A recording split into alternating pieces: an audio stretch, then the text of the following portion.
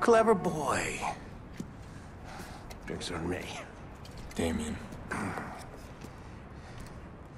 Tell me you miss me. you had that punk call my sister. Why am I here, Damien? You're always so grim, Aiden. My God. Don't you ever loosen up? I want my partner back. Me at the computer, you in the field doing the manly work. I'm here to help you.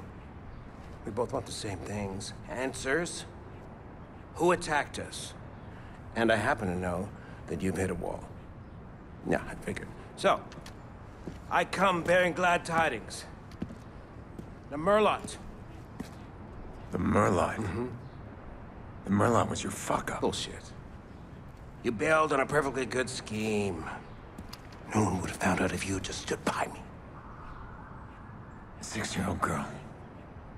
My niece died because you went too far. Oh, you're adorable. Blaming your family problems on me? Damien crossed the line, he made the Batman angry. What about me? What about you? You're not the only one suffering. They made me a cripple. They took everything from me. Don't you see? That's what binds us together.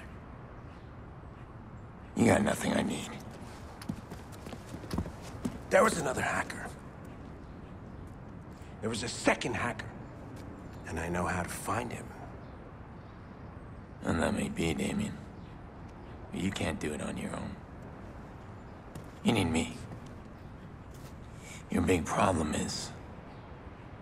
I don't need you. Don't walk away. This is a lead. Thanks for the tip.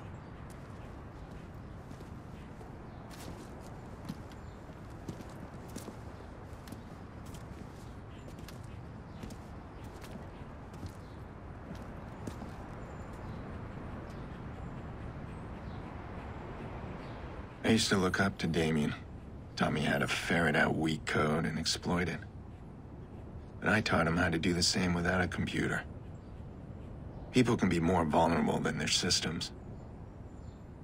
We were a strong team. After Lena, I was done with him.